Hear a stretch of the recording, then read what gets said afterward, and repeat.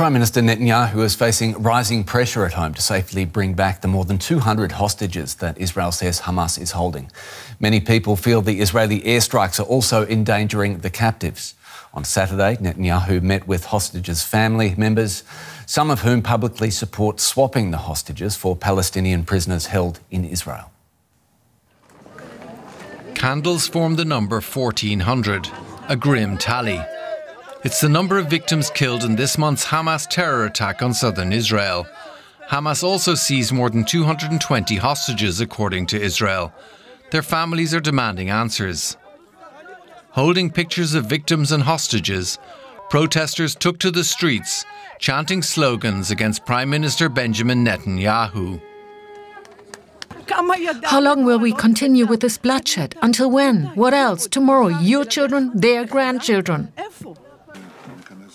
Netanyahu met relatives to reassure them, saying Israeli forces would do everything they could to bring the hostages home. The operation is ongoing, and the key is pressure. The greater the pressure is, the greater are the chances.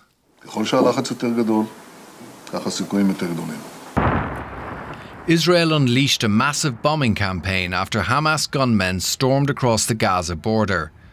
The heavy shelling has relatives worried that their loved ones are also being bombed, or that Hamas will carry out reprisals. We have demanded that no action be taken that endangers the fate of our family members, and any step considered should take into account the safety of our loved ones.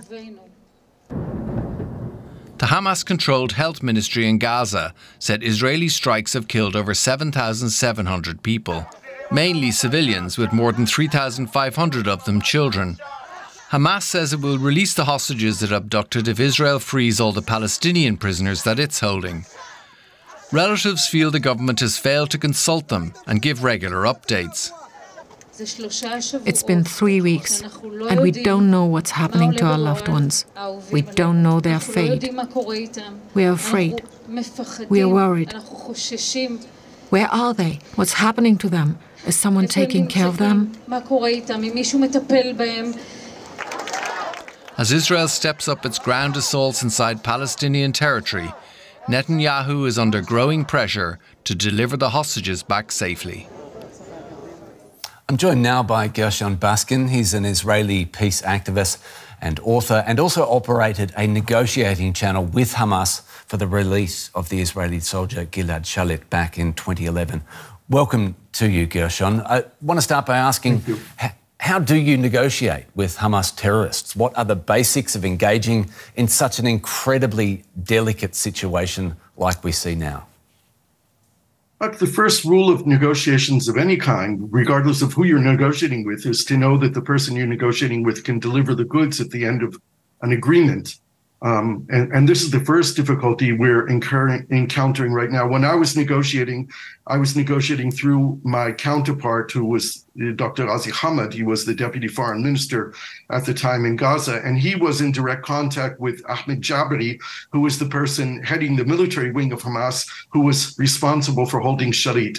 So our messages were actually a very short channel. They went between a Mossad officer who was appointed by Netanyahu to me, to Ghazi Hamad to Ahmed Jabri. It was very short, very few people involved. And we knew that at the end of the line, Jabri could deliver it and Netanyahu could deliver it. In this case, we don't know if the Hamas people in Doha, in, in Qatar, can deliver. We're from the political wing. We don't know if Hamas in Gaza is holding all the hostages. Hostages were also taken by the Islamic Jihad, the PFLP, and other groups and individuals. Uh, we're not speaking directly, no one's speaking directly, apparently, to the military wing in Hamas. Perhaps the Egyptians are. We don't know if there's coordination between Egypt and Qatar. And the last thing that I would say that makes a successful negotiating possible is the parties have to be uh, aware and know what they're willing to do in the agreement for uh, whatever it is they're negotiating. Uh, right. After five years of Shalit being held hostage, the Israeli prime minister knew what the deal was and he gave the green light for it. Uh, we don't have five years now to wait. Decisions have to be made now whether a, a deal is going to be made or not, and what are the options if a deal isn't made. Yeah, one of the options that appears on the table from the outside, uh, it appears there's little progress, though, on a possible prisoner exchange. Uh, it's what what many of the relatives uh, of the hostages are pushing for. In your experience, what is it that is most difficult in negotiating an exchange like this? There, there are two possibilities on the table right now, and I wouldn't say that there's no progress. We don't know about the progress, and we should really take every announcement made in the media as part of the negotiating process. It's part of the psychology, it's part of the pressure. Uh, the two options are a, a deal for the release of the women, the children, the elderly, the sick, uh, and the wounded. This is the civilians who are in the deal in exchange for what Hamas is saying uh, uh, an extended ceasefire. Uh, initially, they were talking about five days, maybe more. Uh, the second deal that's been on the table is the release of all the Israelis in Gaza, all the hostages in exchange for all the Palestinian prisoners. And then the question is, what do you do with them?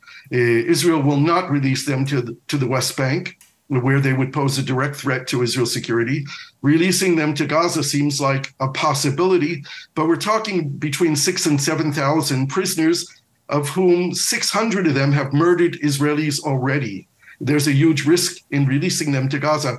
I have an idea that I just thought of this morning. Why don't, why don't we send them to Qatar? The Qataris have been hosting the Hamas leadership for years now, funded Hamas with over a billion dollars. Why doesn't Qatar offer to take the Palestinian prisoners? Uh, they can give them a good life there. And I'm sure that the Qataris will be very strict in maintaining that they won't engage in terrorist activities from Qatar. There are solutions. If we want to be right. creative and we want to get this done, it has to be done quickly. Gershon Baskin, thank you for your time and your many insights today. Really appreciate it. Thank you.